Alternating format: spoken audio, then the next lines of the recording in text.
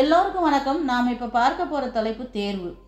இதுவரை குழந்தைகளின் படிப்பு பற்றி பல விஷயங்களை பார்த்தோம். சிலவற்றை மட்டுமே எடுத்து கூற முடிந்தது. ஏனெனில் கற்றது கைமண்ணளவு கல்லாதது உலகளவு என்பது போல் எல்லாவற்றையும் எல்லா இடத்திலும் எப்போதும் சொல்லிவிட முடியாது.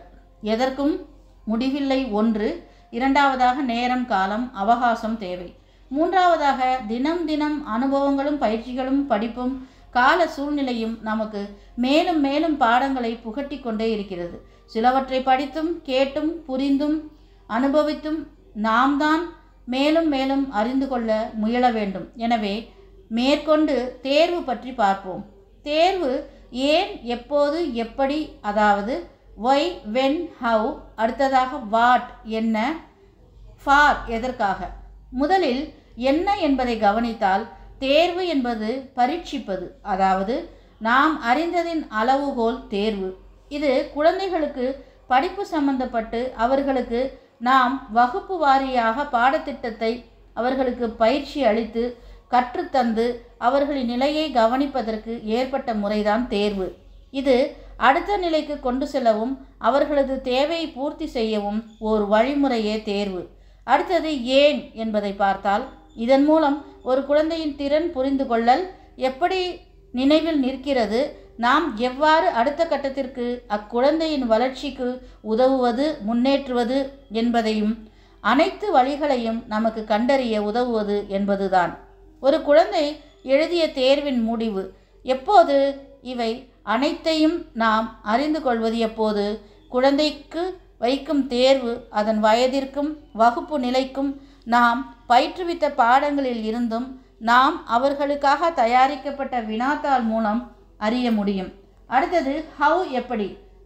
டிக்டேஷன் என வரும்போது அக்குழந்தையின் விடைத்தாளில் எப்படி குழந்தையின் பதில்கள் அமையப்பட்டிருக்கிறது என்பதை பார்த்து ஆசிரியர் தான் பயிற்றுவித்ததற்கும் குழந்தையின் பதிலையும் ஒப்பிட்டு பார்த்தால் அக்குழந்தையின் நிலையை அறிய ஏதுவாகும். இதுபோல் one word choose the correct answer மேலும் கொஸ்டின் அண்ட் ஆன்சர் பேராகிராஃப் என ஒவ்வொன்றையும் விடைத்தாளை வைத்து குழந்தையின் நிலை தகுதி தேவை முதலியவற்றை அறிந்து கொள்ள முடியும். அடுத்தது வாட் என்ன என்ற கேள்விக்கு தேர்வு என்றால் என்ன அல்லது விடைத்தாள் வினாத்தாள் என்றால் என்ன என்பதை நாம் இதுவரை குழந்தைகளுக்கு சொல்லிக் கொடுத்திருக்கிறோமா?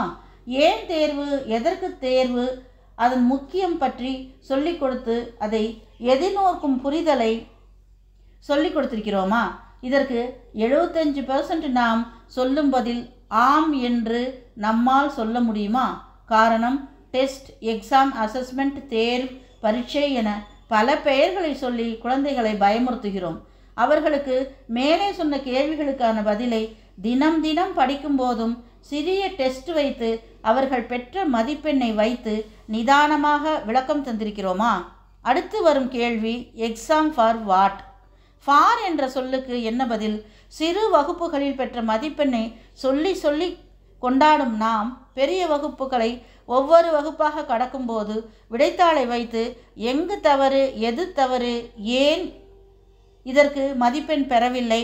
விடைத்தாளையும் வகுப்பு நோட்டையோ புத்தக பாடத்தில் உள்ள விடைகளையோ ஒப்பிட்டு சரியான விடை எது தவறு எது என்று விளக்கியிருக்கிறோமா?